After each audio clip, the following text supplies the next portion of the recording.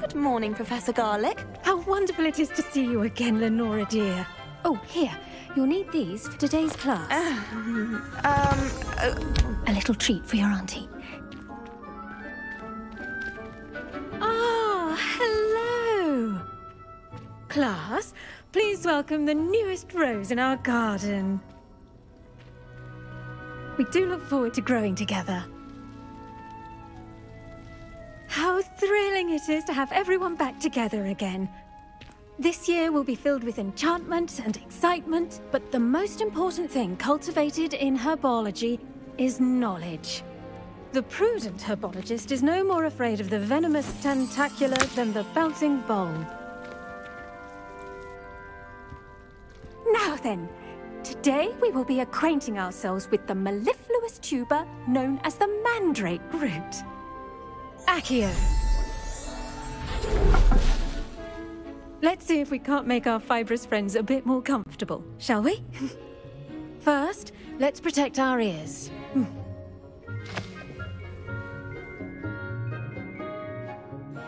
Now, everyone, grip their mandrake by the tendrils and give it a firm tug.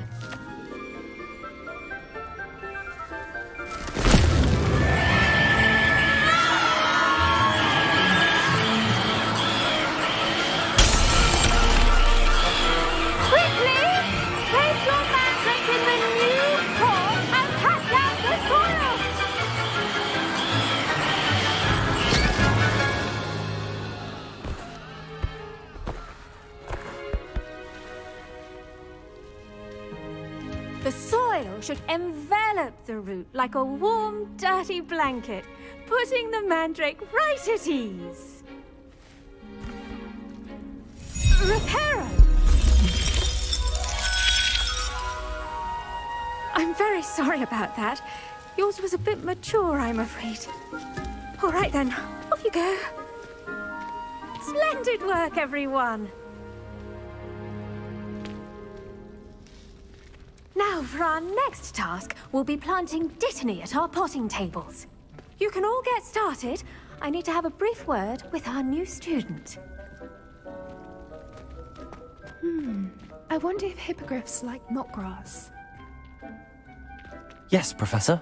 Firstly, well done with your mandrake. They can be rather difficult to get a grasp of.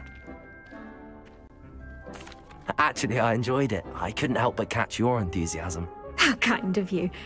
It seems you're already taking to herbology like a mandrake to fresh soil. Now, as I mentioned, next we'll be planting Dittany. Let us find you some seeds. I already have some, Professor. Pick them up in Hogsmeade. You visited the Magic Neep. Wonderful! A prepared student is bound to bloom. I've arranged for you to have your own potting table here in the classroom. Wasn't easy to spare one on such late notice. Plant the seeds there now, and you can return to harvest them later. Even with soil, sunlight, and a bit of magic, they will take time to grow. let's see how to balance my star thistle arrangement. Niffler's fancy or roses? Dittany's restorative properties make it a vital ingredient in the Wiggenweld potion, as you all should know from Professor Sharp's class. Pardon me, Professor. What am I supposed to do with the Dittany seeds? Your part in all this floral alchemy is simple. Take the seeds to your potting table, plant them, and then wait for harvest time.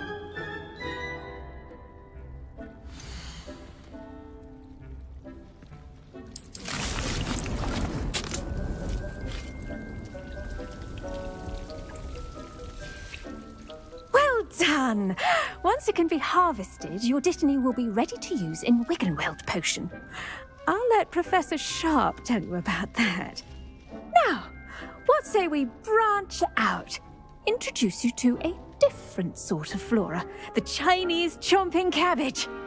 You'll find that some plants are better suited to uses outside of a cauldron. The cabbages do get testy without something to chew. Fortunately, I have a dummy for them to gnaw on. Be a dear and let them have a good chomping. Yes, Professor. They're in the other greenhouse. It's just at the end of the footbridge leading out of this room. Your classmate, Mr. Prewett, has kindly offered to accompany you. Come back and see me when you're finished. Oh, and mind your fingers.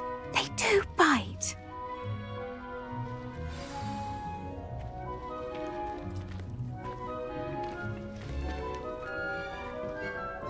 Hello. Saw you on your way to Hogsmeade the other day. Nice to meet you. I'm Leander. I'll be showing you the Chinese chomping cabbages. Up these stairs will take us there, but your lead. Nice work in Defense Against the Dark Arts, by the way. Excuse me? Your duel with Sebastian! And he's good. Thinks he's really good. But you outright slaughtered him. It was brilliant. Oh. Well, thank you. I nearly put Sebastian in his place myself. I mean, I would have, if Hecat hadn't stopped me. Didn't she stop that dragon skull from crushing you? Typical Slytherin trick, dropping it. Here we are, home of the Chinese chomping cabbage. Go on, grab a few of those cabbages. Just, now, see that dummy? Just toss the cabbages at it, and they'll do the rest.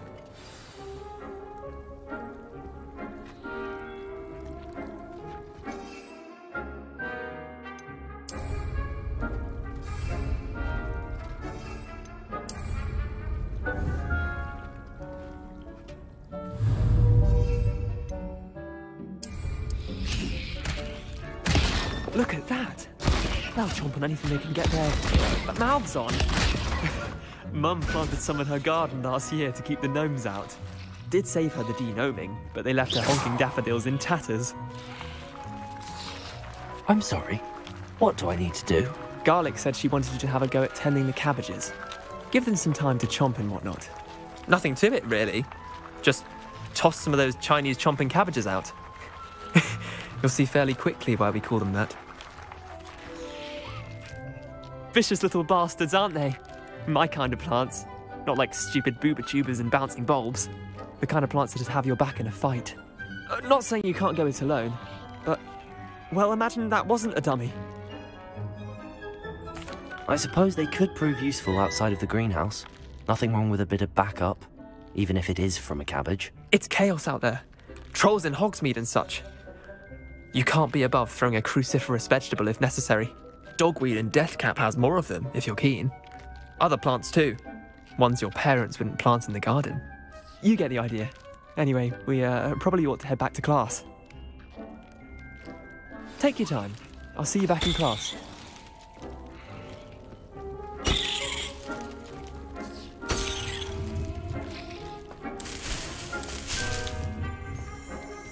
Revelio.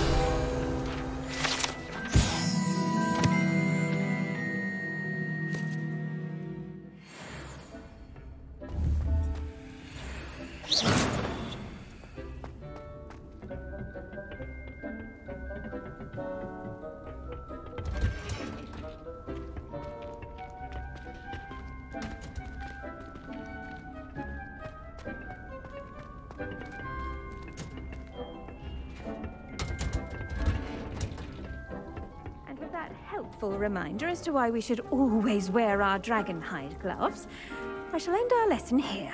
Terribly sorry, Mr. Clopton.